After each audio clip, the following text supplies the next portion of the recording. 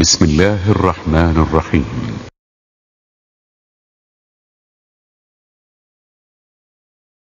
أحسن الله إليكم شيخ. سؤالها الثاني كما سألت أختنا أم ليان قضية شيخ الغازات المستمرة معها. بالنسبة للغازات تلحق بسلس البول إذا قرب وقت إقامة صلاة الصلاة تتوضأ وتصلي ولو خرج منها فهذا خارج عن إرادتها ولا يكلف الله نفسا إلا وسعها. أحسن الله إليكم.